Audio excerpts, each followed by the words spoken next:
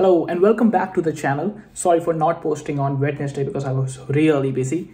Today we are going to do, we are going to solve some of the problem solving questions based on array and strings because we have implemented linked list, array list so far and we had a basic knowledge of how these data structures work. So now is the time to implement or to solve some real problems uh, that could be asked in the interview. So we are going to start with very basic problems. We are not going to take the advanced course right away. We are just going to take the basic questions that can build our understanding of these data structures. Then we will slowly move ahead. So are you with me? If yes, let's head back to the IDE and solve this question.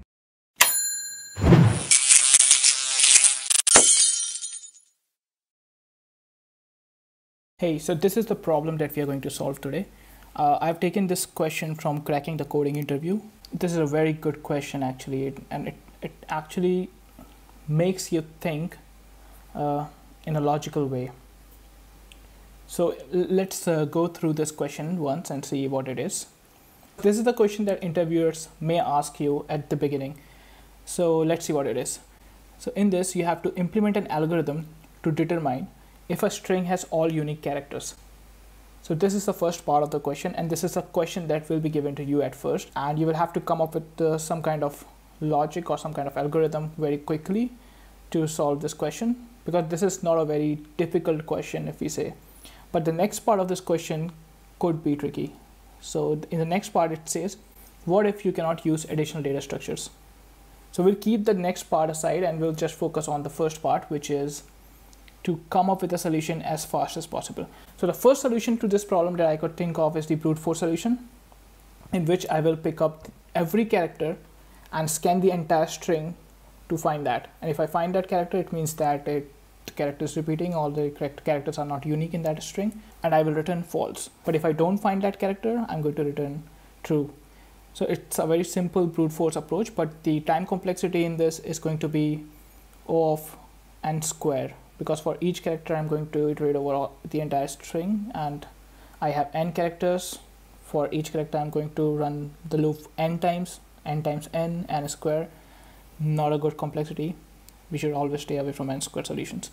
The second thing that I can think of like at the top of my head is to use some kind of an auxiliary storage like a hash set that will keep track of all the unique characters for us. So before uh, inserting any character, we are going to check that in the hash set and we're going to know that okay we have seen this character before so it's, the string is not unique and we're going to return false.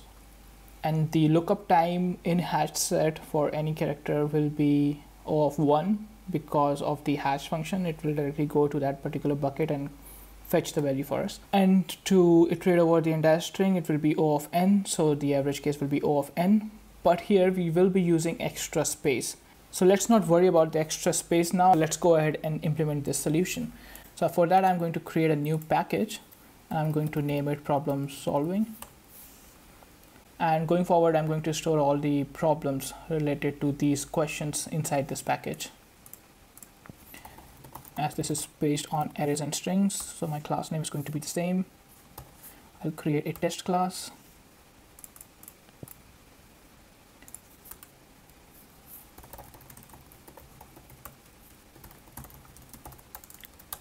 I'll create a new object inside setup.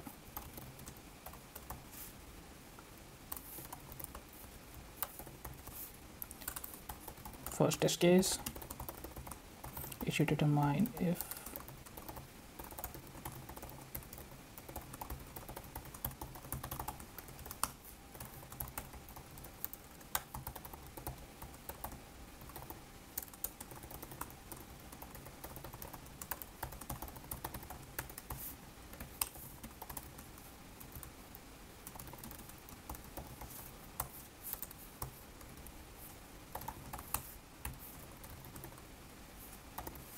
this is going to return true because this particular string contains contains all unique characters.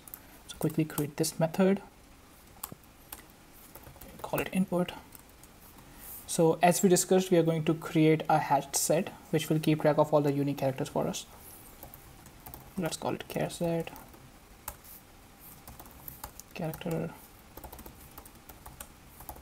So while i is less than the input dot length if char set contains that character then return false because we have seen that character before. That's why it is present in the char set.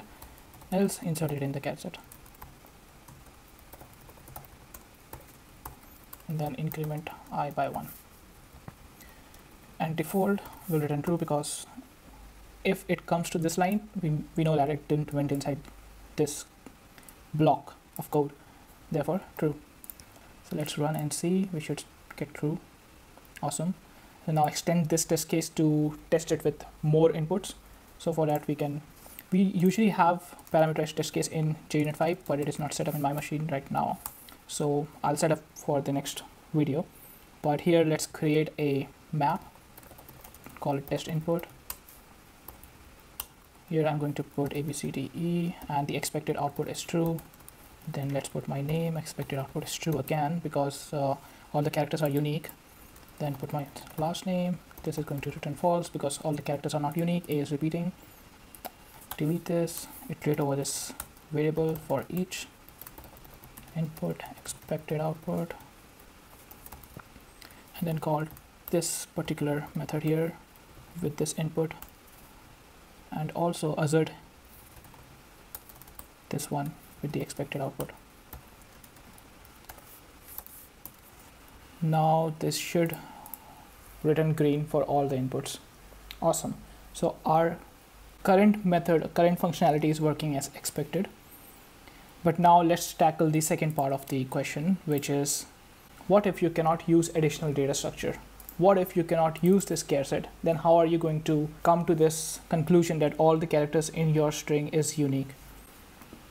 So for this usually in these kind of question this is a trick question and you need to get into the binary level or binary operations because that is where the answer lies. So instead of explaining to you every step we'll directly code and then we'll see how it works.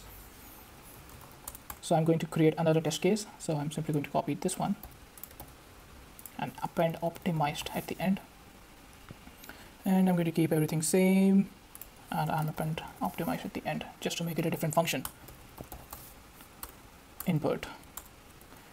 Alrighty so here so first of all we need a checker. We'll assign it to zero then now we're going to iterate over the string character by character. So when i is less than input dot length now we can get this value here. So it is easier to use it without repeating that input dot charAt everywhere. Here I need i plus or we can subtract a. So a is the ASCII value which is 96 so whatever character I have I'm going to subtract 96 from it. Uh, so if I encounter a uh, I will get 0 if I encounter B I'll get 1 C is 3 likewise.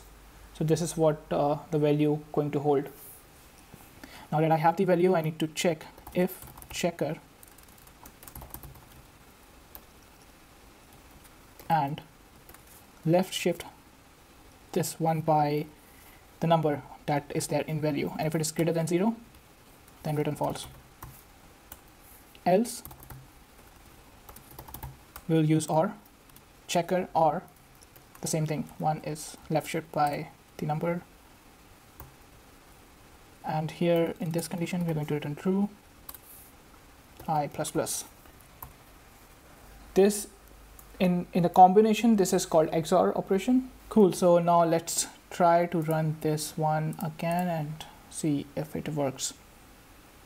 Awesome. So this is how you can solve this question using without using any additional space. And this is a very important question. Interviewers may ask you this question. I have been asked this question in the interview before and i i was able to solve it like this. So see you in the next video where we are going to solve some more of such questions. These questions are very important and builds the base. So see you in the next video. Bye bye